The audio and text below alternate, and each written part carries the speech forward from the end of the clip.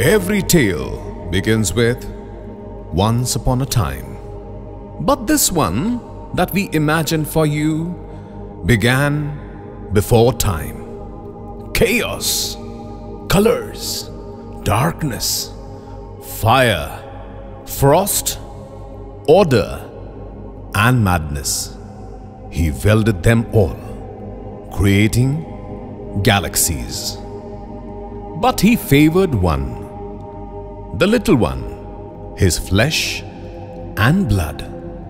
He gave her the deepest seas and the highest mountains, vital, delicate, beautiful. She had a friend of hope. She brought her flowers and fairies, and together they brought Eden to life.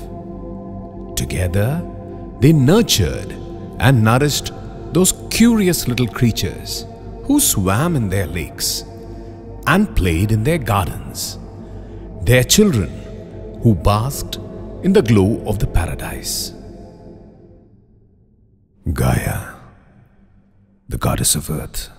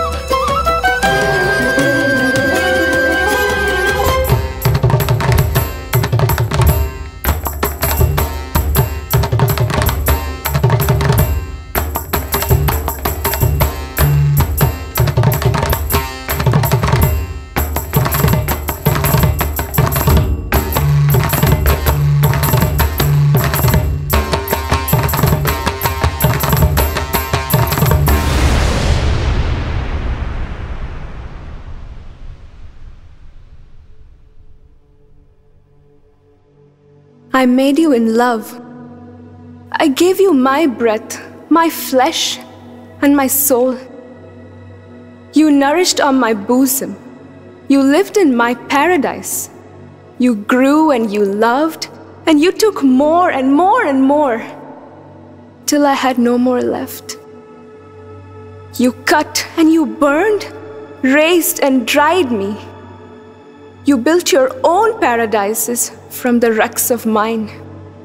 You built wonders that look unbelievable in frames. From the ruins of the magic that I made for you.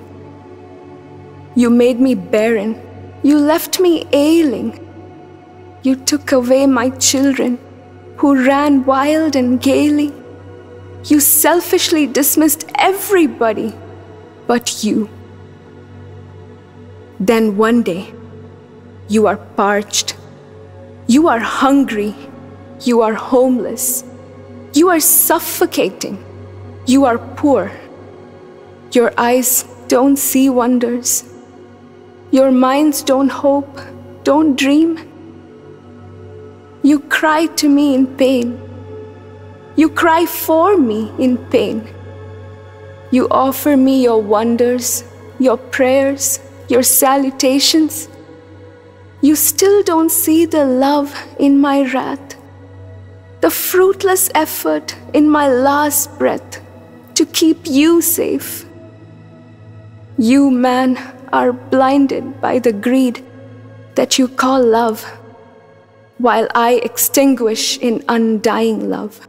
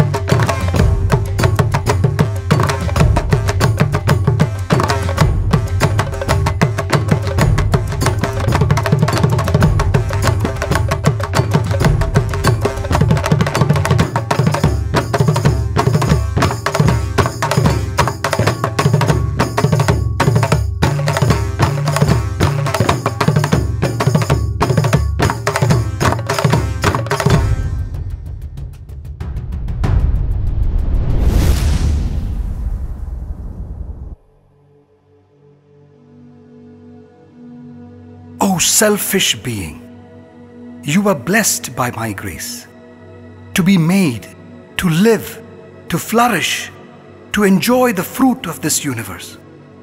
You greedy being, you have forgotten that I created her as my child, my joy, my special one, who knew not how to restrict love, but to take hers before giving everything. You have ruined her you have destroyed her, yet you have no shame, no remorse, no regret. You have no right. You have brought upon yourself my wrath. I pause not to cause more hurt to my child. I will unleash upon you the curse of a father, whose child you have devastated. O man, your time is measured, your days are numbered. You will not take from me what is mine.